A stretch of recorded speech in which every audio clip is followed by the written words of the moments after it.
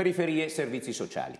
Qual è l'idea che ha portato avanti la giunta di sinistra con l'assessore Maiorino, che ricordo oggi è capolista del Partito Democratico, che mi sembra un po' distante da quel Sala che io conosco e che dice apriamoci alla società civile, ritorniamo alla collaborazione pubblico e privato.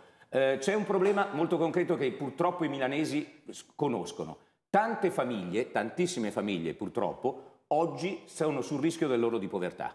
Se noi andiamo al pane quotidiano e vediamo la fila che c'è, non certo. vediamo solo immigrati extracomunitari, drammaticamente vediamo padri e madri di famiglie che magari hanno perso un lavoro e non hanno da fare la spesa. Ed è un problema serio. Come si risponde? Questa è la differenza. Che tipo di risposta concreta noi diamo a Milano?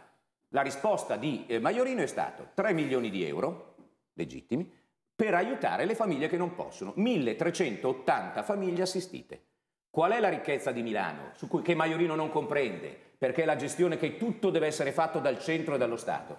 Che Milano, Milano ha una ricchezza nel suo territorio di associazioni di volontariato, ne ho citato uno il Pane Quotidiano, l'Arca, altrissime, che ogni giorno danno da mangiare a 56.000 persone.